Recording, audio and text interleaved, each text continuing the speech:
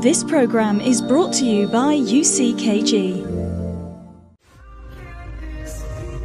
It's happening in every neighborhood.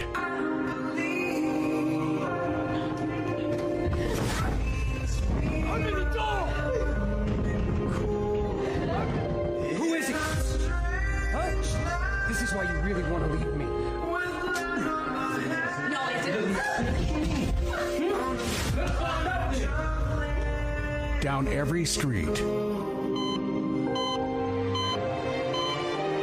Sickness. Addiction. And violence has been turning countless homes into crime scenes.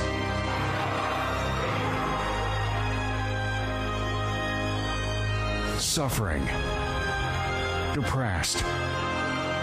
Alone. Suicidal. Hello to all, may God bless you in the name of the Lord Jesus Christ. Welcome to your program Problems and Solutions of this Tuesday here on the Öppna Kanalen. From Tuesday to Friday, 8 p.m., we have this appointment to have these 50 minutes of the power of God, where we are showing testimonies of people that found a new life. You know that uh, for your problem there is a solution. That's why the name of this program. And even though that the, the, the time are passing so fast and we are already approaching in few weeks the end of the year and starting 2023, you can still, my dear friend, in this year of 2022, find the presence of God, find the solution of your problem because the solution of your problem is based upon the Holy Spirit. Because the moment that the presence of the Holy Spirit comes upon someone, that person has the opportunity to start a new life. When we say start a new life, and you're going to see the stories of tonight, and you see that people, when they arrive at the Universal Church, when they did the chains of prayers, when they heard about the Holy Spirit, through the Holy Spirit, they were able to start a new life and leave the past behind. Because sometimes you tried so many times, you tried and you have been trying. You are a fighter that has been trying to start a new life. But uh, every time that you start a new life, is like if the problems of the past come back. And then you get frustrated, you become down, you become without no strength. But you can start a new life with God because God is the only way that the only one, I mean, that can leave your past behind, that can leave your past where it belongs, the past, and give you a different future. And there are many people, millions of people, being transformed with this faith that we present here every single night through this program. Watch the stories of these people, and we'll be back with you straight after. Below your screen, also, there is our telephone number in case you want to contact us right now. We have people available to talk to you. A lot of it was to do with insecurities and like the way that I felt inside.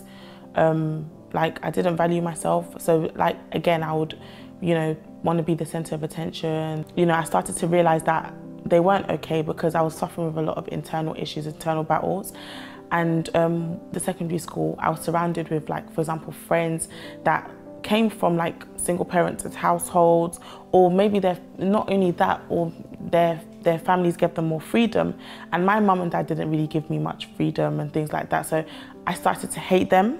So I started to look at, at it as if I wasn't getting freedom. I started to look at it as if you know they hated me as well.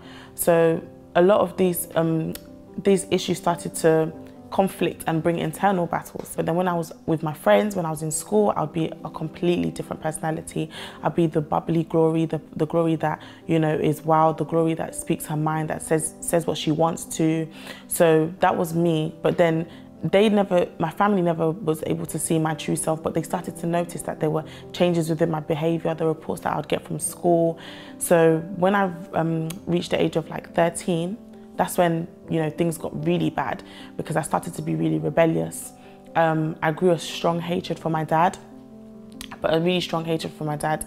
I didn't like him. I remember there was even a day when I asked my mum if I was adopted, and like she was so shocked. But it's because of you know how I felt inside uh, towards him. So I'd lie to my parents a lot. I would tell them that I was um, going somewhere when I wasn't, go with my friends, go out with my friends, and my parents didn't know. So a, a, I was doing a lot of hiding, a lot of scheming, a lot of lying, and that really affected me inside. It wasn't getting me anywhere. I was always down. I was always upset. There'd be times I would lock myself in my room and there was that thing of, no, she's just a teenager, but it was much deeper than that. And I knew it was much deeper than that, but nobody else knew. I couldn't stand the thought of my own company. I couldn't stand being by myself. I couldn't. And at that point, I thought, hold on, wait, I can't stand being by myself. I can't stand the, the, the sight of myself, for example, in the mirror. None of that. So there's something wrong.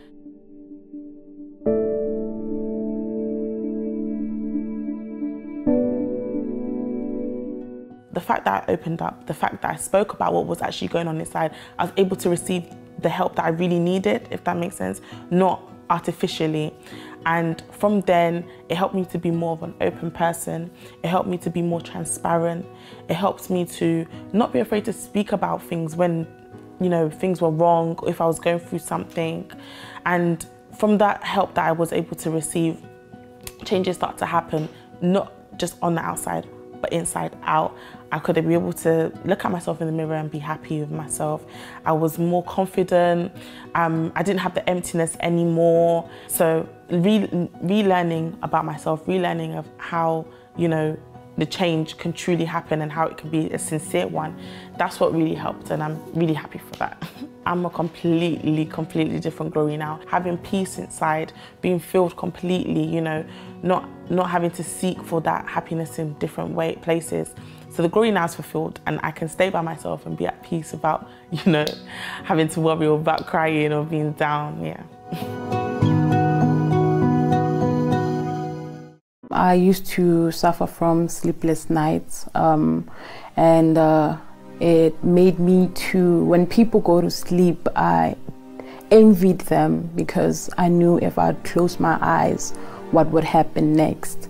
So in, in order to try to avoid that, I would just take my school books and try to, uh, you know, study and it never helped because eventually I would fall asleep and the same things would happen over and over again.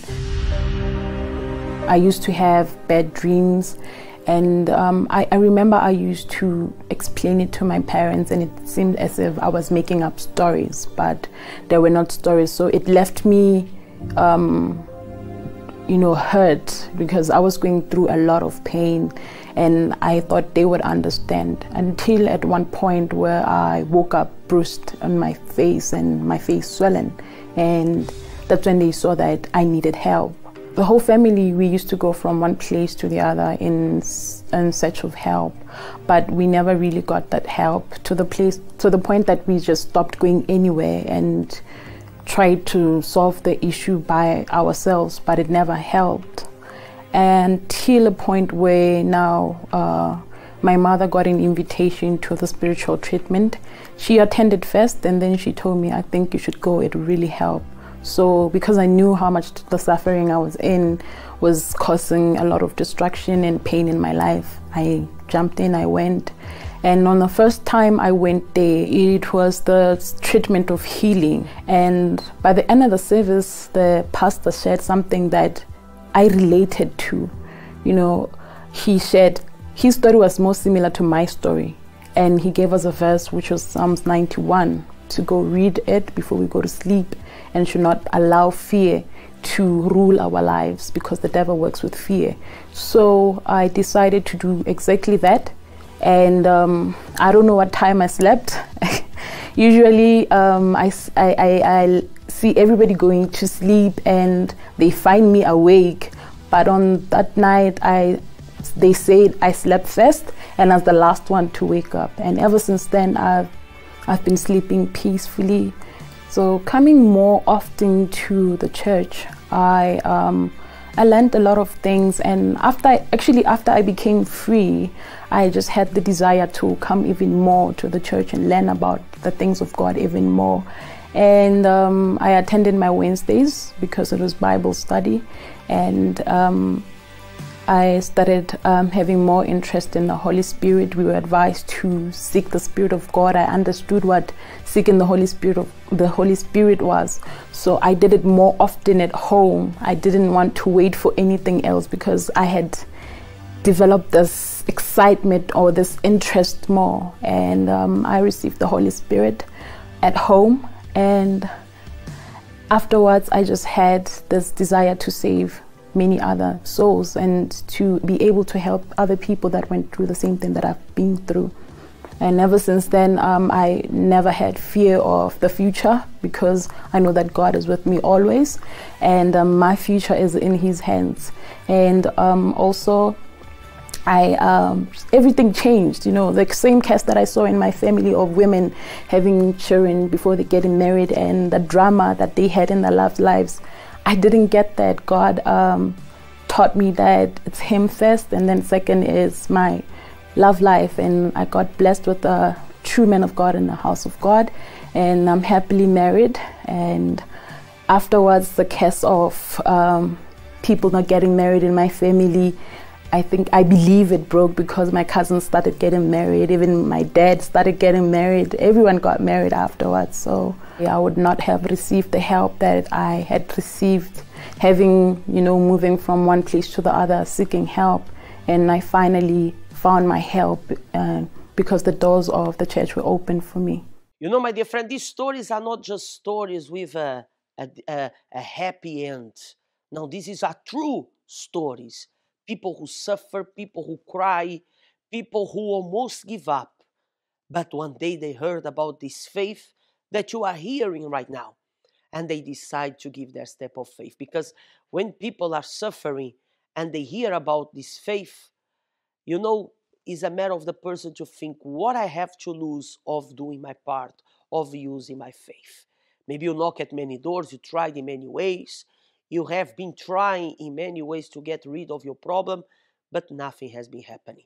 You know, my dear friend, be part of this cloud of stories, of this cloud of testimonies that has been transforming people's lives. There is a solution for you. Yes, you who are there, my dear friend, alone, you who are depressed, you who have sometimes a desire to disappear. Maybe you, you, you, you feel so frustrated because you try even to kill yourself and you couldn't. But you couldn't kill yourself because God has a new life for you. What you need to do is to stand up from wherever you are and do your part. Give your step of faith. The doors of the Universal Church are open. You can visit us every single day. Every single day, we have someone available to talk to you. Myself or our colleagues, they are here to talk to you. And surely that through this faith, you are able to receive a new life. If you want more information about our Universal Church, visit our website www.uckg.se. Tomorrow, Wednesday, we have the prayer for the Holy Spirit, the night of the soul. If you want to visit us tomorrow, you are our guest at 7 p.m. Our address is Birger 106. Birger 106, very near to the Tunnelbana Tekniska. But you can come either tomorrow, that is special because every Wednesday is special, or either any day because the doors of the church are open. We're going to leave you with the spot about the chains of prayers, and tomorrow we'll be back with another program, Problems and Solutions. Have a good night. May God bless you.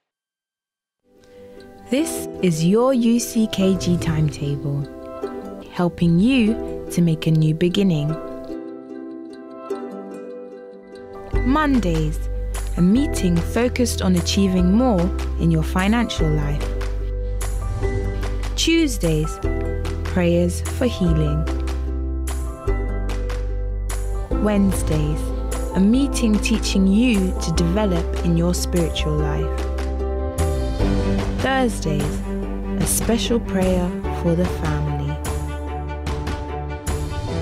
Friday, a service for your spiritual deliverance. Sundays, reconnect with God, the main meeting for your spiritual strength.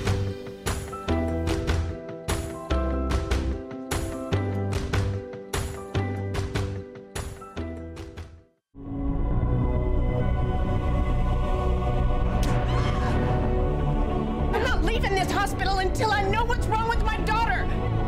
If you want out, that's fine with me.